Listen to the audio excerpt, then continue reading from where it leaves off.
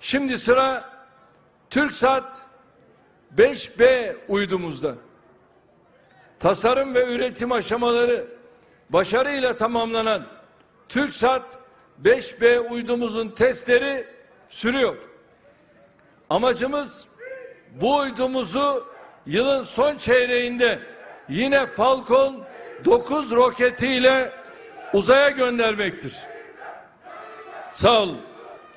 Faydalı yük kapasitesi bugüne kadarki uyduların tamamından fazla olacak TürkSat 5B'nin hizmete girmesiyle veri iletişim kapasitemiz 15 kat artacaktır.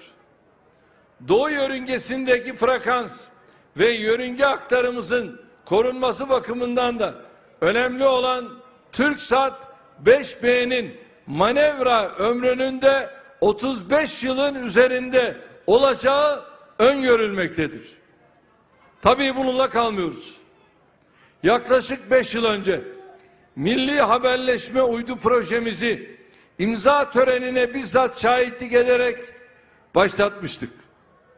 Bu çerçevede TÜBİTAK, TürkSat, Aselsan, TUSAŞ, SİTEK gibi çok sayıda kurum ve kuruluşumuzun katkısıyla TürkSat 6A uydumuzu ürettik.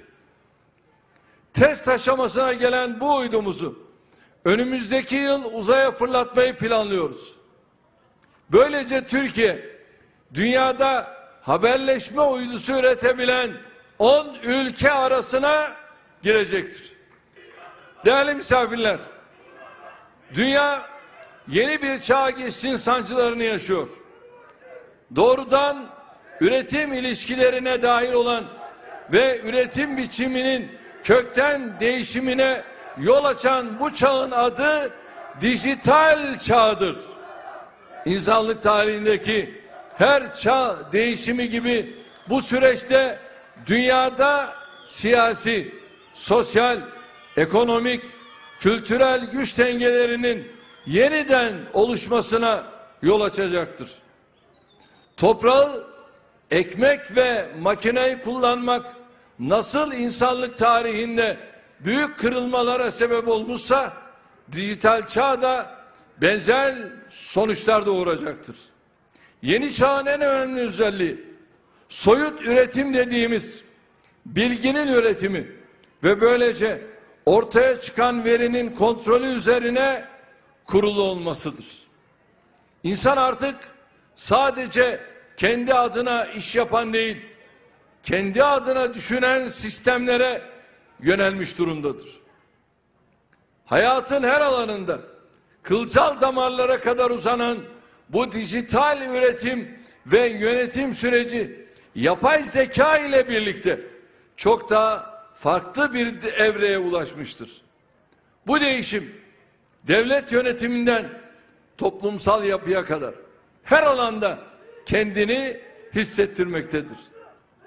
Demokrasi dediğimiz olgu bir meydanda toplanan insanların şehrin sorunlarını tartışması ve karara bağlamasıyla ortaya çıkmıştı. Sonra bu yöntem ülkede yaşayan belirli bir yaşın üzerindeki insanların tamamının seçimler yoluyla içinde yer aldığı temsili demokrasiye dönüştü. Bugün ise dünyanın dört bir yanındaki yüz milyonlarca insan dijital altyapı ve iletişim imkanları sayesinde anında bir araya gelebiliyor, tartışabiliyor, ortak tavır geliştirebiliyor. Üstelik bu son değişim birkaç nesil gibi çok kısa bir zaman aralığında yaşandı.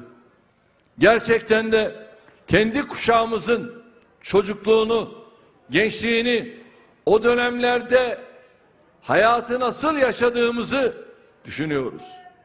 Sonra bir de torunlarımıza yeni nesillere bakıyoruz.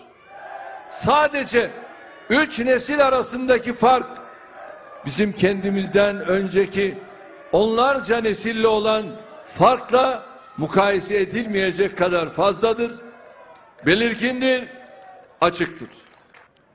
Ülkemize kazandırdığımız güçlü eser ve hizmet altyapısı sayesinde dijital çağın imkanlarını milletimizin emrine pek çok gelişmiş ülkeden daha önce verebilmeyi başardık. Özellikle sanayiden ticarete, kamu hizmetlerinden eğitim ve sağlığa kadar her alanda kritik öneme sahip dijital altyapıyı daha da geliştirmekte kararlıyız.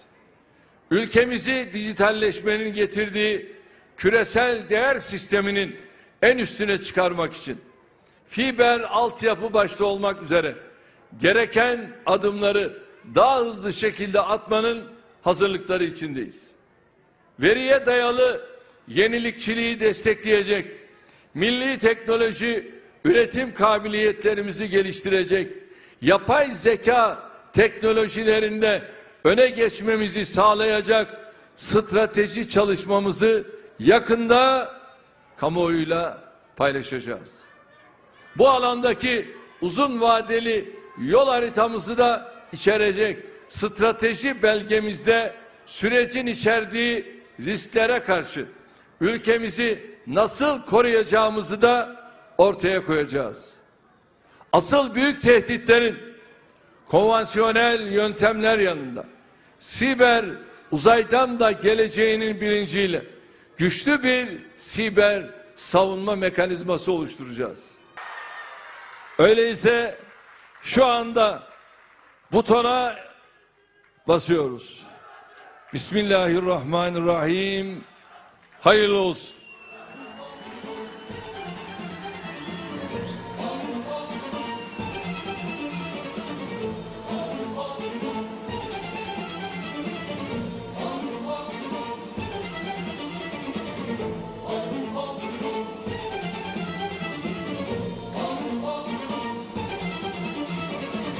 Ses.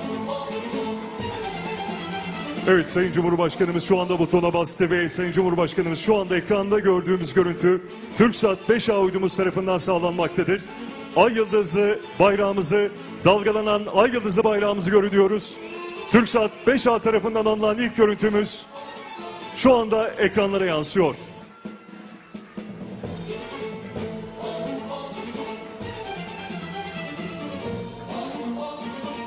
Efendim devreye almış olduğumuz uydumuzla birlikte ülkemizin yanı sıra Avrupa, Orta Doğu, Kuzey Afrika, Orta Batı Afrika, Güney Afrika, Akdeniz, Ege Denizi ve Karadeniz'i kapsayan çok geniş bir coğrafya ulaşacağız böylelikle. TürkSat 5A uydumuzla ve aynı zamanda